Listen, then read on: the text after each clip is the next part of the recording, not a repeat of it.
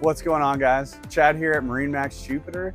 Today we're going over the Scout 255 Dorado. This is a great boat if you like to just pleasure boat or if you like fishing as well or a combination of the two. Let's start at the stern of the boat. So this boat's equipped with twin 150 horsepower Yamaha four strokes. Uh, and then on the transom here, we're gonna have five rod holders as well as two cup holders. On the port side, we have our bait well and plenty of seating throughout the boat as you can see, which if you were to pull up to the sandbar, plenty of seating, or if you want to fish, you can stow it away and have more deck space. Right by your entrance door, there's actually tackle storage down here. You can fit a few smaller tackle boxes there. Uh, bilge access underneath the back seat. You have your uh, mount in the center here for your cockpit table uh, fishing pole storage underneath the starboard side gunnel, as well as two JL audio speakers back here. Working our way up, we have a nice uh, Kenyon grill.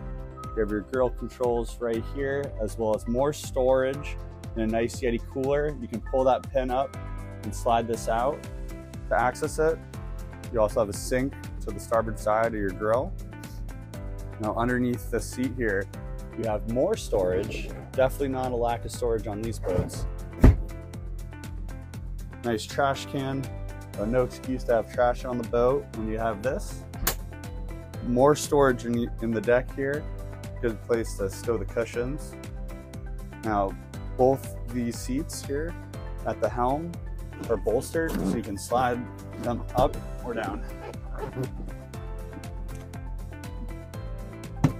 Another JL audio speaker underneath the seat here, as well as tower speakers. Now off the hard top here, not only do you get these tower speakers, but you do also get the SureShade. See, at the helm, we have Garmin electronics, as well as a Garmin VHF radio, uh, Fusion radio, nice little storage compartment, cup holder, all your switches over here right by your throttles, very conveniently located. Two more cup holders off the port side uh, seat, very nice. Seems like there's always uh, storage right where you need it. On the port side, you're gonna have a bathroom, has a nice little sink, nice little mirror, very nice wood finish. On the starboard side, you have more storage, of course, and this is lockable storage as well.